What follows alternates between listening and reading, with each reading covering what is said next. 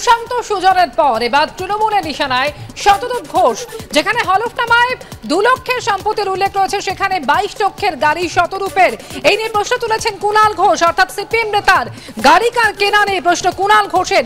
গাড়ি কেনার তথ্য প্রকাশ্যে নিয়ে আক্রমণের তৃণমূল। বাবার টাকায় গাড়ি কেনা হয়েছে, কার টাকায় গাড়ি কিনবো তৃণমূল বলে দেবে, পাল্টা প্রশ্ন সিপিএম নেতা শতরূপ ঘোষের।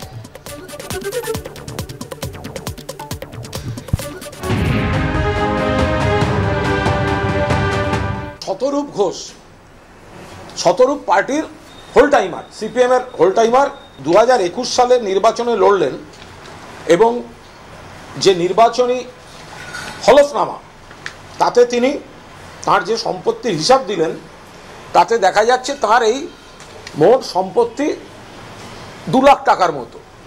তা যার অ্যাকাউন্টে নাকি যার সম্পদ একুশ সালে দু লাখ টাকা সে ওয়ান টাইম পেমেন্ট করে তেইশ লাখ বাইশ লাখ টাকার গাড়ি কিনছে, এটা কি করে সম্ভব হতে পারে? একটা হতে পারে ব্যাংক লোন নিয়েছে, এটা হতে পারে না। কারণ যে পার্টির হোল টাইমার তাকে কিসের ভিত্তিতে ব্যাংক এত টাকার লোন দেবে? এটা তো হতে পারে না। দু নম্বর হতে পারে তার কোনো আত্মীয়, ধরা যাক তাঁর শ্রদ্ধ পিতা তাকে আমি একদম এর বিতর্কে আনতে চাই না।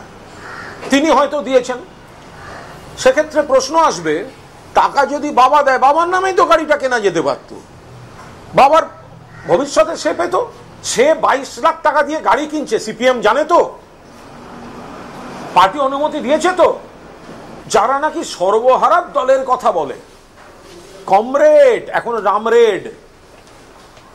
তাহলে তাদের একজন তরুণ নেতা, তার মানসিকতা হয় কি করে বাইশ লাখ টাকার বিলাসবহুল গাড়িতে চড়ার? এইটা তো বেসিক কোয়েশ্চেন কুণাল ঘোষ প্রশ্ন করেছেন যে এই কি আমাদের সেই চেনা শতরূপ? আমি ওনাকে আশ্বস্ত করি যে হ্যাঁ এই আপনার সেই চেনা শতরূপ। যেমন আপনি আমাদের সেই চেনা কুণাল, যে কুণাল একসময় বলতেন যে মমতা চোর, এখন বলেন মমতা সাধু। এই গাড়িটি ডিসেম্বর মাসের শেষে এসে পেমেন্ট করে জানুয়ারি মাসের ষোলো তারিখ আমি গাড়িটি ডেলিভারি পাই এবং গাড়িটি আমার নামে রেজিস্টার ঠিক কথা। আমি আপনাদেরকে তার বিলটা দেখাচ্ছি রসিদটা দেখাচ্ছি এবং এটা অরিজিনাল রসিদ পেমেন্টের দুটো চেক নাম্বার রয়েছে এখানে। আমার বাবা এবং মা সারা জীবন ওনারা স্টিল অথরিটি অফ ইন্ডিয়াতে চাকরি করেছেন সেক্রেটারি র্যাঙ্কে আমার বাবা তার অ্যাকাউন্ট থেকে পার্সোনাল অ্যাকাউন্ট থেকে চেক দেন। আঠেরো লক্ষ এক হাজার টাকার চেক আমার বাবার আমি একমাত্র সন্তান, আমার বাবা কিনেছেন আমার নামে। তার যাবতীয় কাগজপত্র ডকুমেন্ট সব আপনাদেরকে দেখালাম। এবং তিন নম্বর কথা হচ্ছে, কুণাল ঘোষ বলেছেন যে কি ও সিপিআইএম করে কমিউনিস্ট পার্টি করে তোর এরকম গাড়ি চড়ার শখ হবে কেন? কারণ আমি বলছি, দেখুন, আমার শখ নিয়ে কেন ভাবছেন? আমার শখ, আপনি যদি পার্থ চ্যাটার্জির শখের সাথে আমার শখ মিলিয়ে দেখেন, দেখবেন আমার শখ খুবই সামান্য।